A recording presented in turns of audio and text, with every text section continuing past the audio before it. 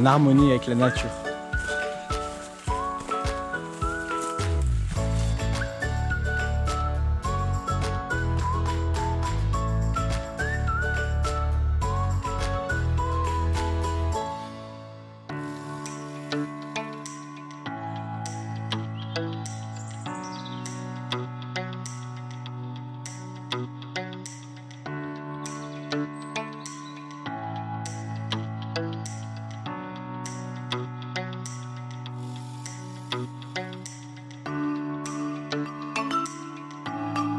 Alors pour ces trois prochains jours, je t'amène dans des endroits très sympas en compagnie de nos deux Français, Jessie et Laetitia, et de notre guide, Woot. Woot.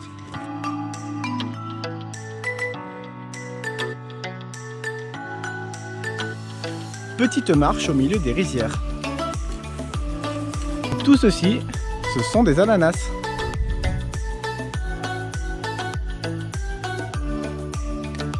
Donc toutes les nuits, ils coupent l'arbre et puis euh, la sève coule. Et ça fait du caoutchouc. Ah. Côte. oui, il m'a dit de pas sentir et j'ai senti. C'est vraiment effectivement c'est très très bon.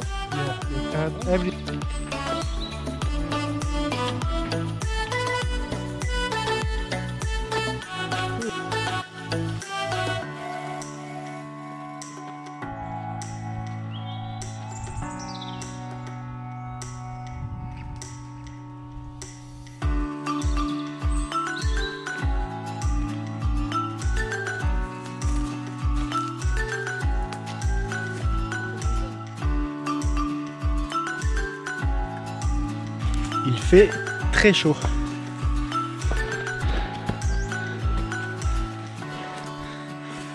On essaie de se battre avec les moustiques.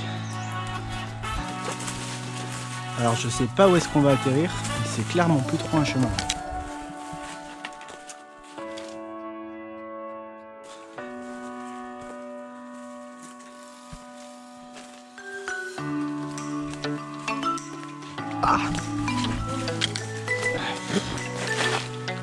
Milieu des toiles d'araignée, tout va bien.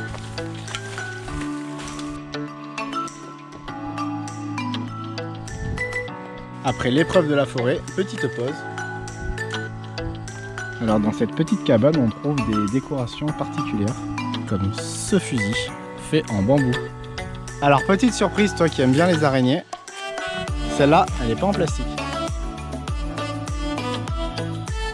Elle va me sauter dessus. Alors en attendant de voir un requin en Indonésie, je te montre un requin en pierre.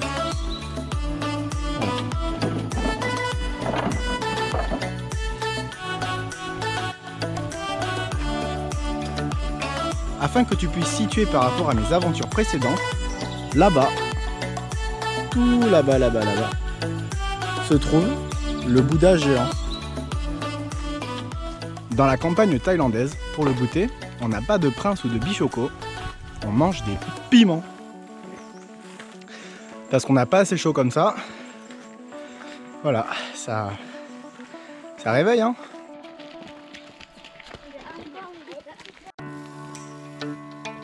Lao Village, ok, voilà. Is how we stay tonight? Alors je vais te faire visiter mon hébergement pour ce soir, c'est très mignon. Ici, la terrasse.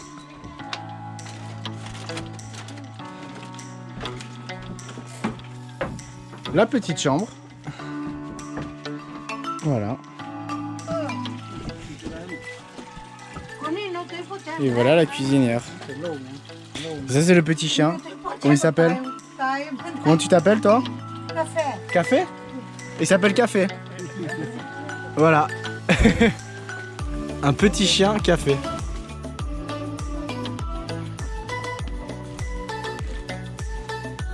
Un peu de vis-à-vis sur les voisins.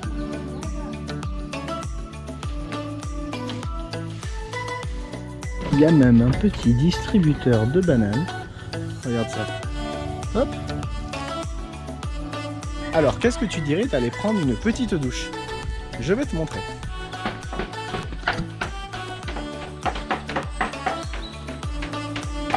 C'est ici. Hop, on pose les affaires ici. Et regarde, c'est très simple.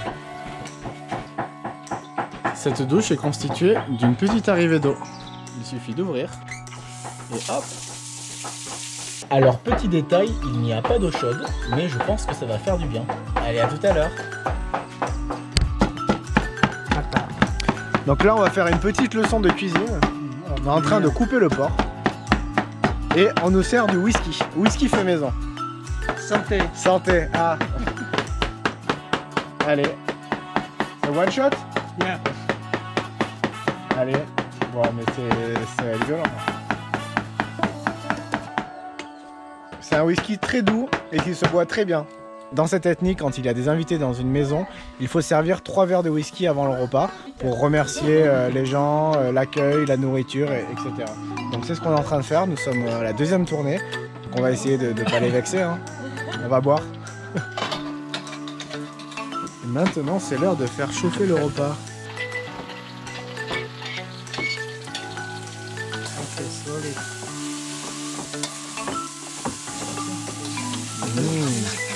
C'est trop bon. Arroy Ça veut dire que c'est très bon en thaïlandais. Je viens d'apprendre que ceci, c'est de l'estomac de porc, mais ça a l'air original. Alors, comment faire du popcorn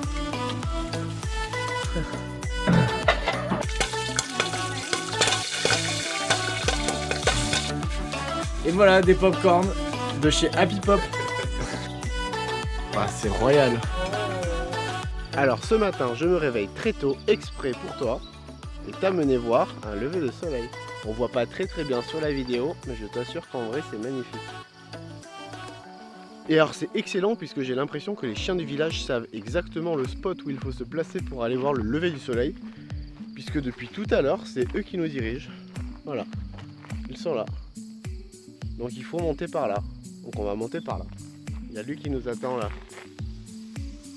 Alors les chiens, on va où maintenant? C'est quand même énorme cette histoire. Il n'y a plus besoin de guide hein, dans ce pays, juste des chiens. Eh ben moi je dis chapeau bas les chiens. Toi je pense que tu es le suiveur et que tu t'en fous royalement. Alors ces chiens sont vraiment extraordinaires et ils m'ont vraiment amené sur un des spots les plus hauts de la colline et maintenant ils attendent. Ils ne font plus rien. Alors après ce merveilleux lever de soleil, ne pas oublier de se parfumer, c'est très très important, avec un petit parfum exotique contre les moustiques. Voilà, regarde. Hum, ça sent bon, hein. Voilà, donc ça, c'est important pour la journée, puisqu'on va se faire dévorer, je pense.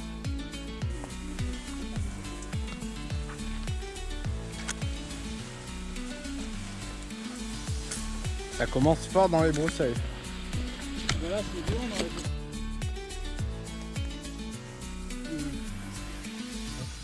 C'est dans les... Alors on essaie de trouver une petite araignée. Une petite grosse araignée. Qui ressemble à ça. Ok. C'est pas une petite araignée ça ah. C'est une miguel Wow. Crazy. Yeah, it's from here. Voilà. Le trou, elle a refermé. Alors pour la petite explication, lorsqu'une araignée a des bébés, les bébés mangent la maman migale. Et du coup pour ça, elle sait qu'elle va mourir, donc elle ferme le trou. Voilà, tu sais tout. Après cette longue marche dans les broussailles, nous voilà arrivés à la folle altitude de 1000 mètres. Alors je te préviens, ça ne vaut pas le Népal, mais voici ce que nous pouvons trouver.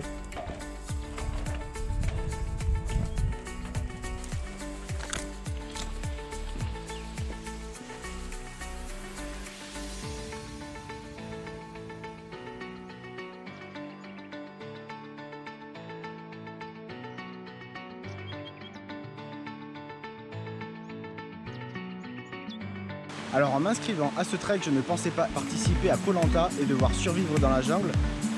Tu vas voir. Et nous voilà arrivés au meilleur restaurant de la ville. On va s'arrêter pour manger à midi. Un restaurant tout nature. C'est ici, auprès de la rivière. Et c'est génial, le cuisinier est déjà à l'œuvre. Pour la petite histoire, ce cuisinier, c'est la même personne que là où on a dormi hier soir. Sauf que lui, il a pris un raccourci en moto. Donc là, on vient de voir ce qu'on va manger à midi. Surprise des petites larves. Mmh. Qu'est-ce que ça va être bon On a d'autres brochettes qui sont prêtes. Et ensuite, comment préparer le riz dans la nature Dans un mango. Ensuite, on met le couvercle. Et direct au feu. Mmh, le repas.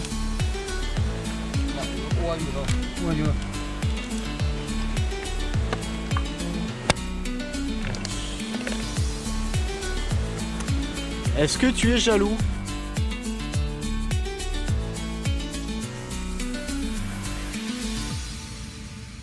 Alors les petits verres sont cuits, il est temps de les goûter.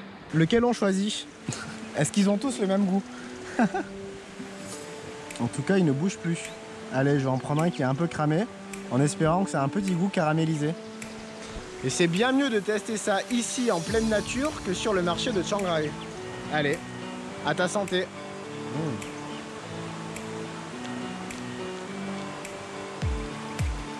Ouais, en vrai, c'est bon. Hein. C'est très bon. C'est vraiment très bon. Je vais en prendre un deuxième, regarde. Je n'ai pas coupé la caméra. Ce n'est pas un montage. J'en prends un deuxième. Allez, lui. Regarde. Comme des petits haricots. Mmh. C'est succulent. Voilà. Bienvenue dans la jungle.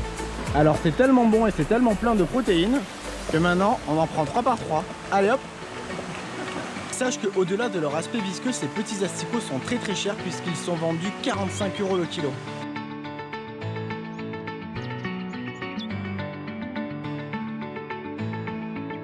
À présent, on installe le couvert.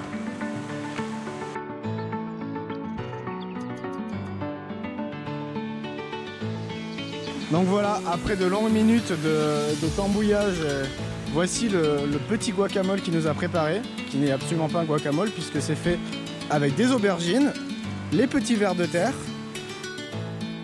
le riz est cuit. Il fait peur avec son, son couteau là.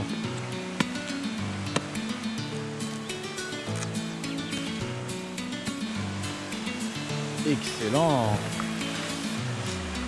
Les mecs sushi Donc plus que le saumon. On va le pêcher dans la rivière. Alors hier, Woot nous indiquait qu'un guide sans sa machette, c'est comme un policier sans pistolet. Et on comprend pourquoi maintenant. Alors pour que tu comprennes un petit peu mieux la cuisson du riz, c'est très simple, c'est une cuisson à la vapeur.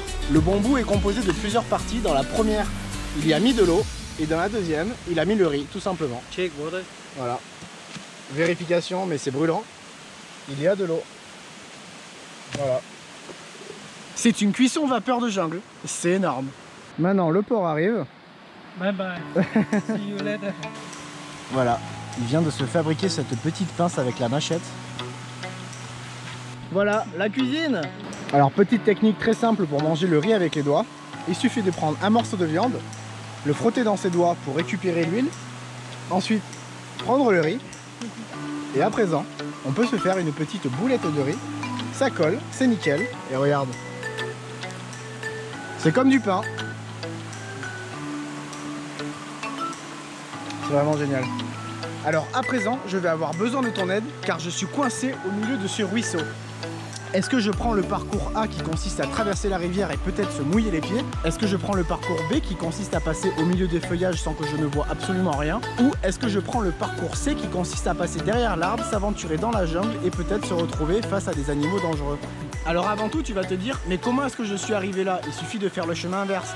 Oui mais non, puisque pour arriver là, j'ai simplement sauté de ce rocher jusqu'ici. Mais je ne peux pas faire le sens inverse parce que je ne vois pas où est le rocher, donc je risque de me fracasser. Donc, qu'est-ce que je fais? A, B ou C? Alors, peux-tu m'aider? Alors finalement j'ai décidé, le parcours A présentait un risque trop important de se mouiller les pieds, le parcours B un risque trop important de se casser la figure et de mal finir la journée, j'emprunte donc le parcours C avec toi. Je pars par là-bas et je ne sais absolument pas où est-ce que ça m'amène.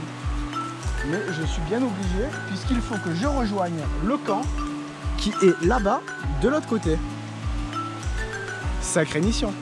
Pour l'instant, le parcours C semble être la meilleure option, mais qu'en sera-t-il dans 5 minutes? En tout cas, il y a plein de moustiques. C'est absolument horrible. Et non, voilà, bah heureusement que j'ai pas attendu ta réponse. Mais je suis très content puisque je pense que j'ai choisi la meilleure option. Regarde. C'est royal. Hop, hop, hop. Et voilà. Mission réussie. Prise sur le gâteau, on repart même avec des cadeaux. Ils ont passé plusieurs minutes à nous tailler un verre en bambou avec leur machette et une superbe bague tressée. C'est vraiment du travail minutieux et ça fait très plaisir de recevoir ce genre de cadeau. Petite précision, j'aurais finalement pu prendre le chemin A tout à l'heure puisqu'en traversant la rivière, j'ai glissé et je me suis littéralement explosé dans l'eau. Je suis donc tout mouillé. Les réponses sont A et C. Et cette magnifique journée se termine par un superbe spot où nous allons nous rafraîchir. Comme elle est très froide, je te propose qu'on y aille ensemble. On peut aller se faire masser gratuitement. Est-ce qu'on n'irait pas visiter un petit peu le coin pour voir si on s'installe ici? Un petit peu trop de boustique à mon goût.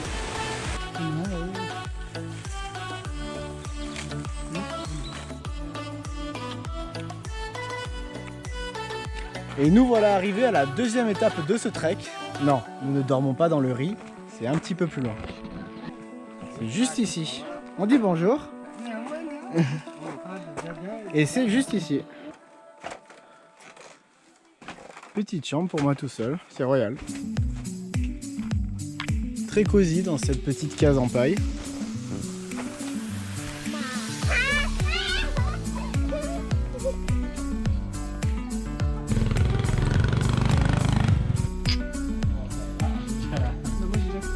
Whisky traditionnel. Ah, local whisky. Local whisky. yes.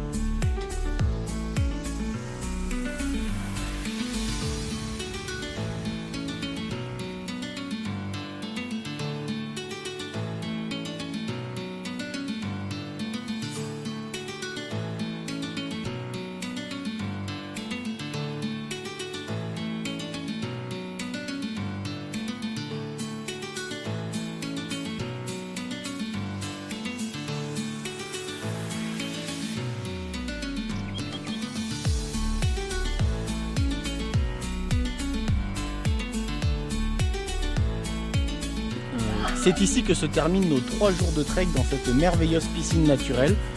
Alors, le carrelage n'est pas naturel, ne sois pas bête, mais je parle bien de la source. En effet, la source de la piscine, c'est celle-ci. Une source d'eau chaude naturelle qui est à plus de 80 degrés et la température est ramenée à 36,8 degrés. Cette source contient 30% de soufre, donc tu ne sens pas, mais ça sent l'œuf pourri. Et voilà, c'est terminé, on rentre à Shanghai. Merci Wood crap.